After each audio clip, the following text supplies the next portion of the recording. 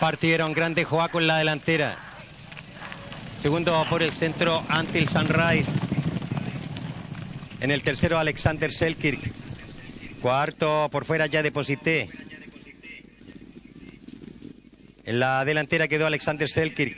Segundo Antil Sunrise.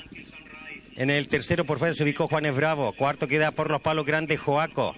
Quinto ya deposité, sexto Libardonés, séptimo Raimundo A girando la curva, penúltimo toque de rotación, último de Gustain.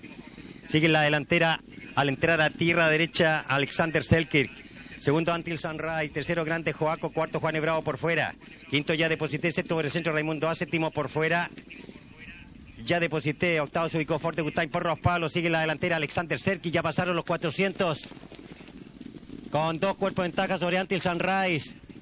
En el tercero se ubicó Libardonés, cuarto por los palos grandes Joaco, quinto Ford de Gustain, sexto Raimundo A, 200 metros finales, Alexander Selker, aumentó a cuatro cuerpos, segundo grande Joaco, tercero Ford de Gustain, cuarto abierto Raimundo A, Alexander Selkir mantiene fácil el primer lugar, segundo Ford de Gustain a tres cuerpos y gana Alexander Selkir.